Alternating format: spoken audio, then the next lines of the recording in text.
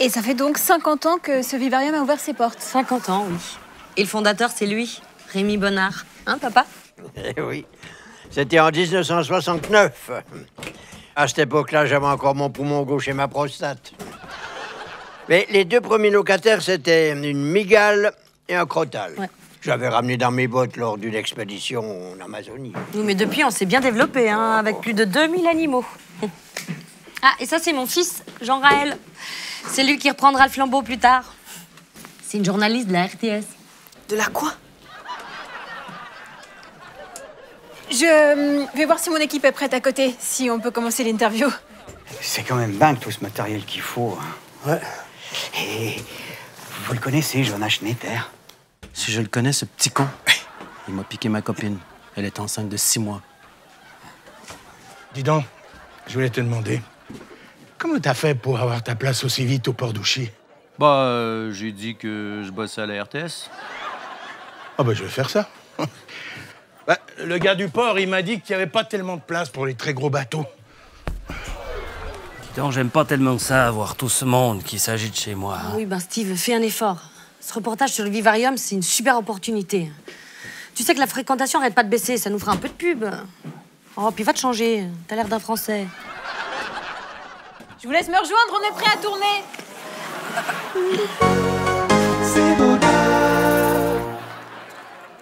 Et ça tourne Audrey Bonnard, plusieurs de vos pensionnaires sont dangereux. Comment vous faites pour les manipuler sans risque? Ben, il y a plusieurs méthodes pour les rendre inoffensives. Par exemple, certaines bestioles, vous pouvez leur couper la langue pour qu'elles n'aient plus de venin. Il plaisante. Mais non, je plaisante pas. Vous leur tenez la gueule bien ouverte et quick avec le coupe-ongle. Mais. Mais qui c'est qui a débranché la couveuse des bébés Orvet, là? Coupé Bah, fallait bien que je branche mon spot. Fleur, c'est bon, je suis sûre qu'ils vont tous très bien. Euh, Mais non, Madame Bonnard, ils sont tous très froids. Bon, mais c'est pas grave. Fous-les dans un carton, j'irai les enterrer avec le couple d'alligator qui s'est fait asphyxier la semaine dernière. La terre est pas encore tassée. Mais il plaisante aussi, lui.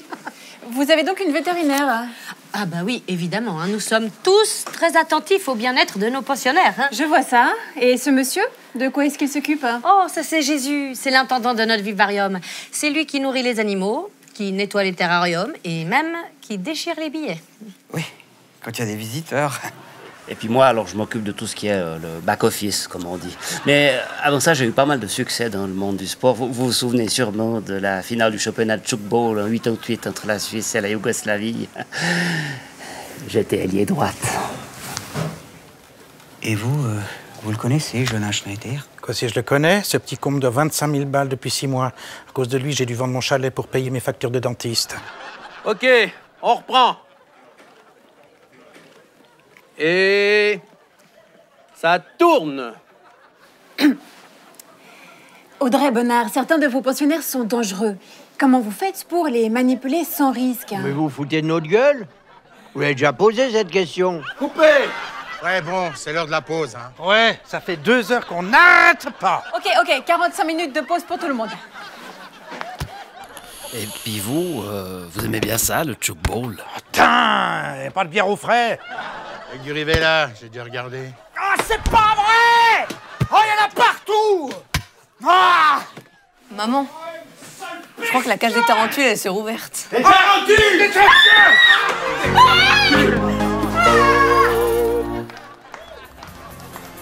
Oui ou non Réponse demain lors de la suite des débats C'est parlementaires. pas Jonas Schneider qui présente Chut, c'est bientôt à nous. Et pour commencer, la maltraitance animale, une thématique qui est malheureusement bien ancrée dans l'air du temps. Illustration au Vivarium Bonnard, dans le canton de Vaud, où l'une de nos équipes a pu constater de nombreuses dérives. Isabelle Mermoux, Paul Chérubin. J'espère au moins qu'ils vont parler de mon équipe de Chuck Bowl.